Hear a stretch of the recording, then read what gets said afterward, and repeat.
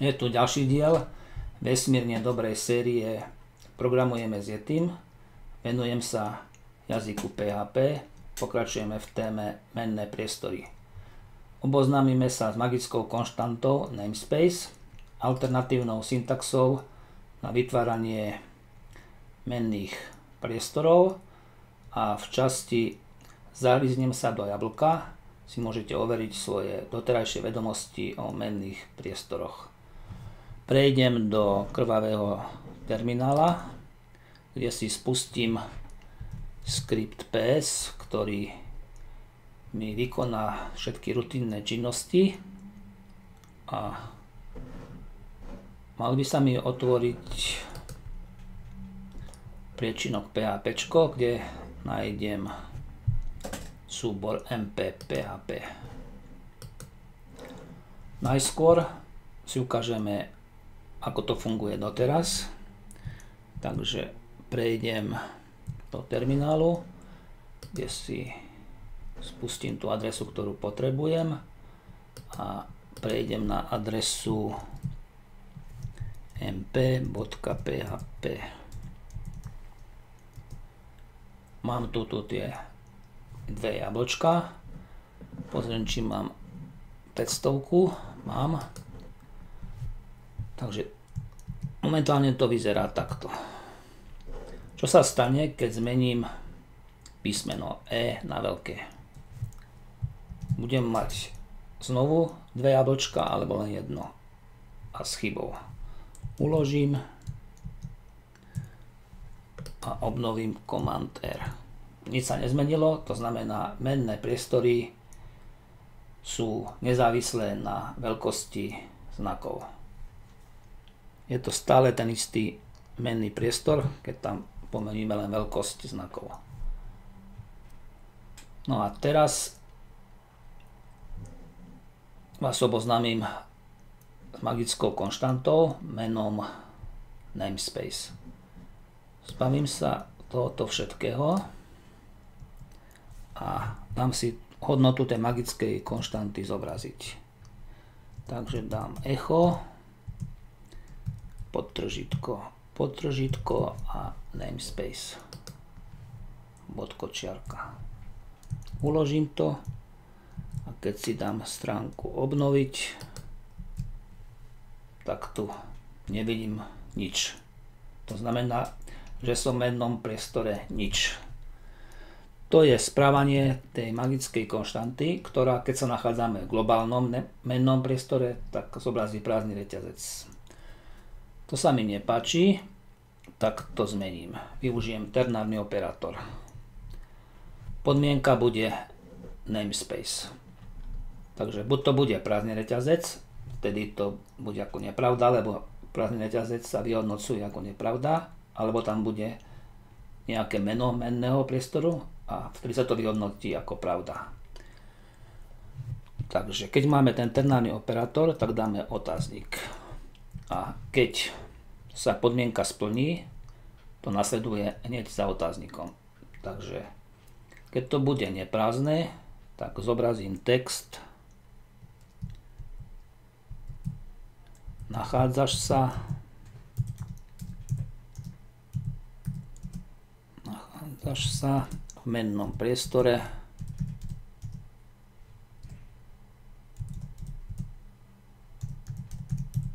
priestore a pridáme tam aj názov toho menného priestoru. Bodka a namespace.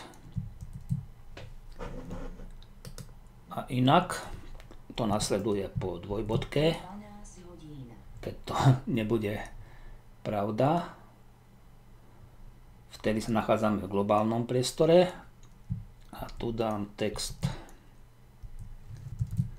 nachádzaš sa v globálnom priestore.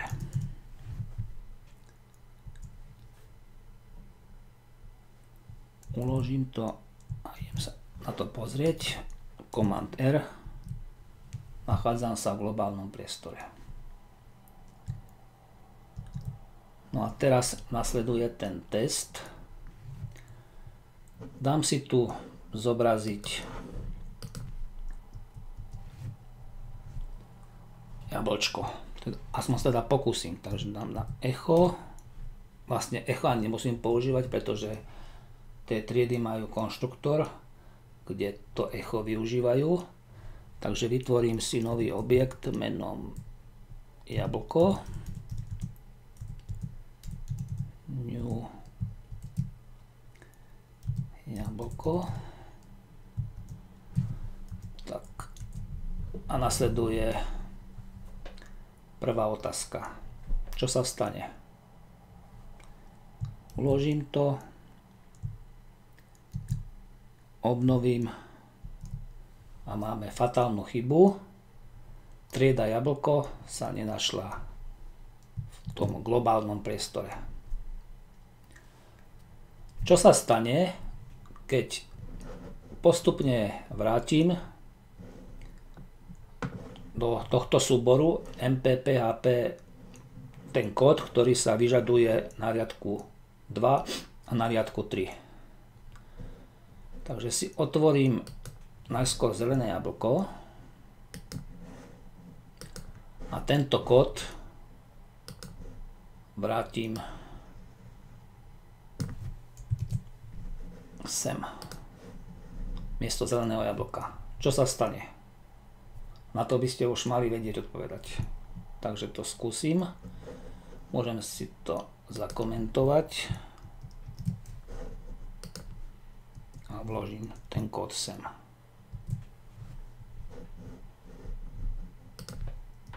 Uložím to a po uložení sa mi hneď objaví chyba. Takže nemusím ani stránku obnovovať Deklarácia menného priestoru musí byť úplne hore, hneď potom otázniku PHP alebo hneď za volaním konštruktu deklaruj.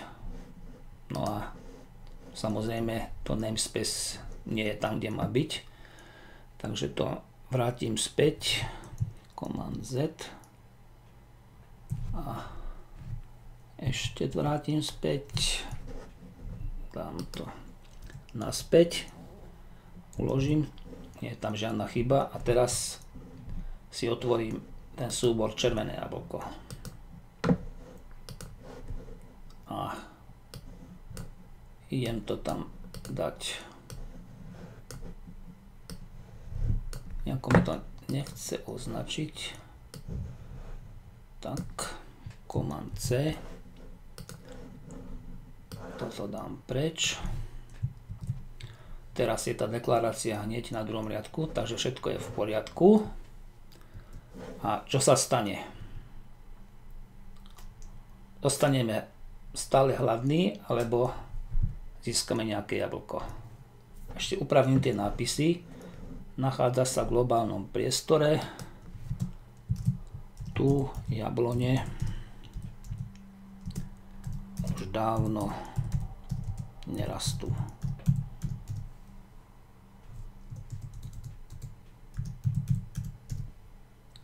A môžem tam dať aj prechod na nový riadok aj s čiarou. A zmením aj ten text pri tom echu tam môžem dať to br tento raz na úvod. A dám tam text.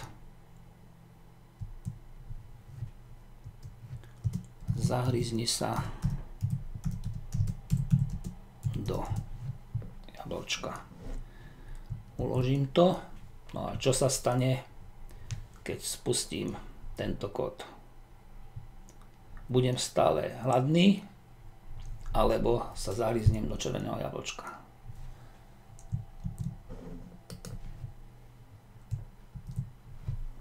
Zahryzol som sa do červeného jablčka, pretože sa nachádzam v mennom priestore červené jablko, kde mám prístup k tej metóde jablko. Teraz nahradím aj túto časť. Tým kódom. Takže zelené jablko, kde si tu. A idem to skopírovať.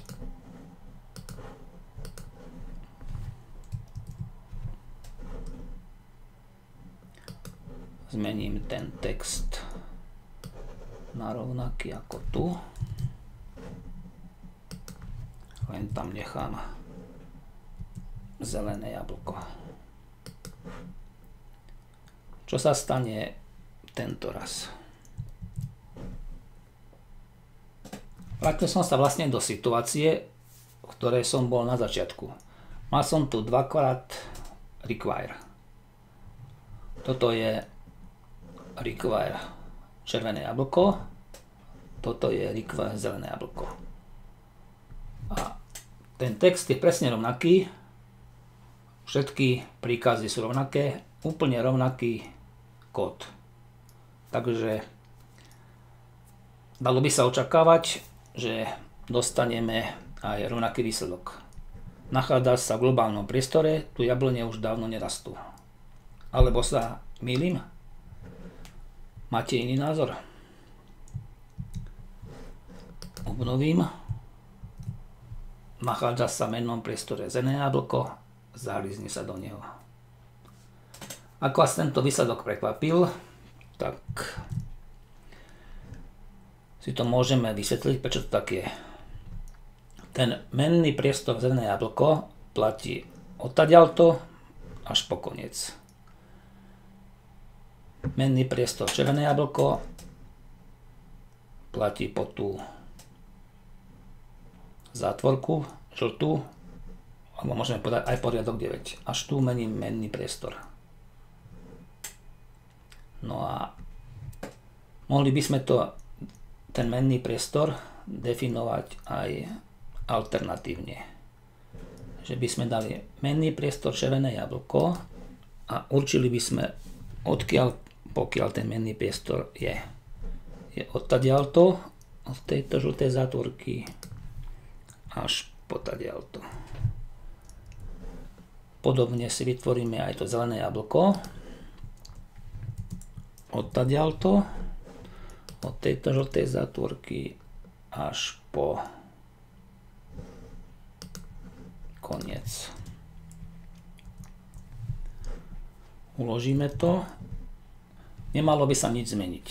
Overíme si to obnovíme stránku a naozaj nič sa nezmenilo. Ale keby sme ten menný priestor zrné jablko ukončili na inom mieste, keby sme ho ukončili tu a uložili to, tak vidíme hneď, že tam chyba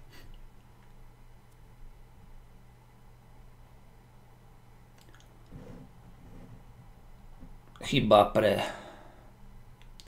menný priestor. Vadí mu konštanta, ale väčšia chyba je to, že máme teraz niečo mimo, menného, mimo menných priestorov. Keď to uložíme a zobrazíme, túto chybu som čakal. Žiadny kód nemôže existovať mimo menného priestoru. Takže dáme aj tento kód do nejakého menného priestoru. Dáme ho teraz do globálneho. A globálny priestor nepotrebuje žiadne meno. Začína tu, končí tu. A čo bude teraz výsledkom? Zalizneme sa do nejakého jablka, alebo zostaneme hladní.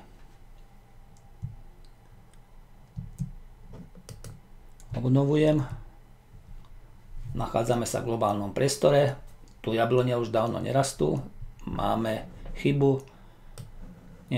Nenašli sme v tom globálnom priestore triedu jablko. A presne takto to funguje, aj keď tu máme tie konštrukty require. Stále sa vraciame do globálneho priestoru a na konci tom globálnom priestore aj zostaneme, preto máme ten text, jablone tu už nerastú. Môžeme si to ešte ukázať tak, že sa späť vrátime k tomu require. Takže len ešte pomením tie texty, nakopírujem to späť do tých súborov, takže máme červené jablko, takže vystrihnem to a vložím to do toho súboru červené jablko. Ten nový kód. Aj s tým zahryznutím sa. Uložím to. Vystrihnem aj zelené jablko. Nakopírujem to do zeleného jablka.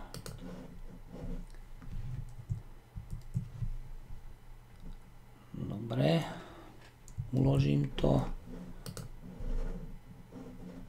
A teraz si vyžiadam tie dva súbory.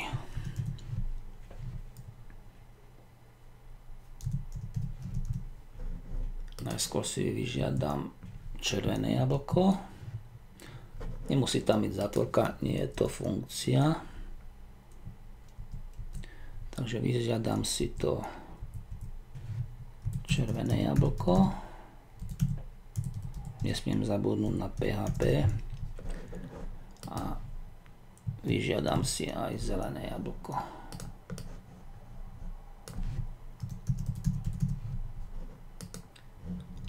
Sme sa dostali späť k tomu, čo sme začínali.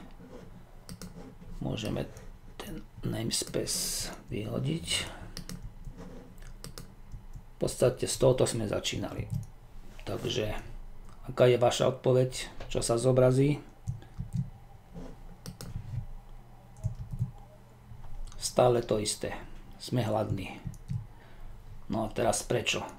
Keď vlastne po nahradení tohoto červeného jablka týmto kódom, po nahradení tohto riadku 3 týmto kódom dostaneme rovnaký kód ako je tento. A keď to dáme do jedného súboru, tak dostaneme iný výsledok, najeme sa. A keď to máme takto, v troch súboroch, ale vyhnutý kód bude úplne rovnaký, nenajeme sa. Je to kvôli tomu, ako, ako mennom prestoje sa nachádzame. To je ako keď idete ku psychiatrovi a zistuje, že ste normálni, tak musí zistiť, že či si uvedomujete to, kde sa nachádzate. Tak aj pri programovaní si musíte uvedomať, kde sa nachádzate, ako mennom priestore. Takže môžeme si dať na úvod zobraziť ten menný priestor.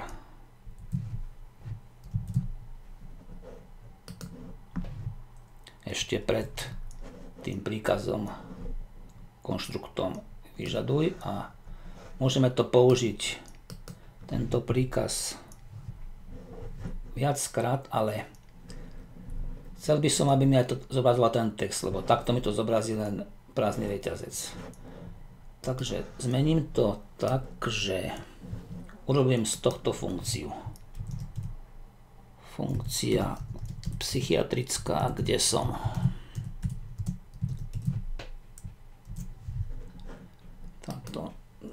žltá zátvorka bude patriť na koniec. No a teraz tú funkciu môžem volať. Takže zavolám ju tu. Kde som?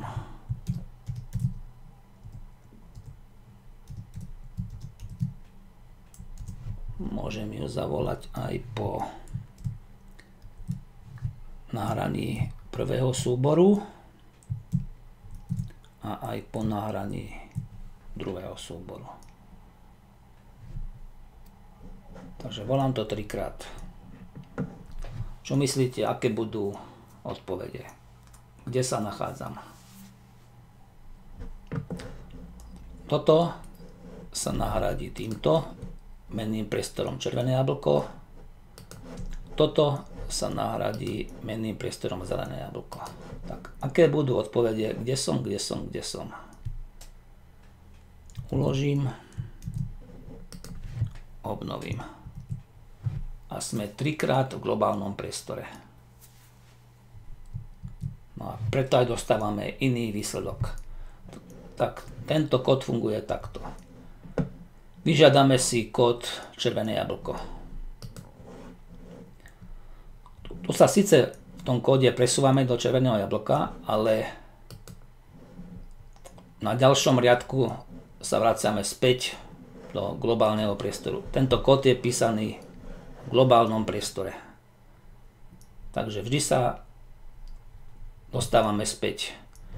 Mohli by sme si tam ešte aj dať červené jablko a tu si dať echo.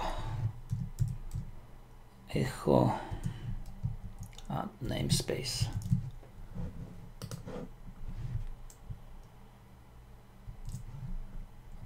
Urobíme to aj v tom zelenom jablku. Echo a magická konštanta namespace. Uložím to. A obnovím stránku. Dám tam ešte br, aby sa to dalo krajšie čítať. Takže zelené jablko. A pridáme alebo dáme tam hneď hora apostrofy. A dovnútra. Hora a to isté dáme aj do červeného jablka bodka apostrofy značka R. Uložím a obnovím. Takže najskôr, to je to prvé volanie tej funkcie, kde som, alebo kto som, ako som ju nazval, kde som. Prvé volanie tej funkcie, kde som. Prvý riadok kódu, sme v globálnom priestore. Potom pomocou konštruktu si vyžiadame súbor červené jablko, sme v mennom priestore červené jablko.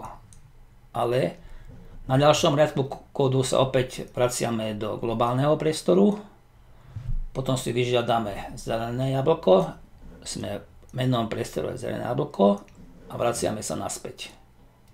No a v globálnom priestore jablka nerastú. Aby sme sa nelúčili tak pesimisticky, tak Zavoláme to nové jablko tak, aby sme sa najedli. Dám prednosť červenému jablku. Takže dám červené jablko. Lomeno, nesmiem zabudnúť to spätné lomitko, jablko. Command S a obnovím to aj keď sa nachádzam nakoniec v globálnom priestore, ale volám tú funkciu z globálneho priestoru tak, aby som sa dostal do menného priestoru červené jablko. Takže aj tak sa najem. Globalizácia celkom neskrachovala. Je čas vypariť sa.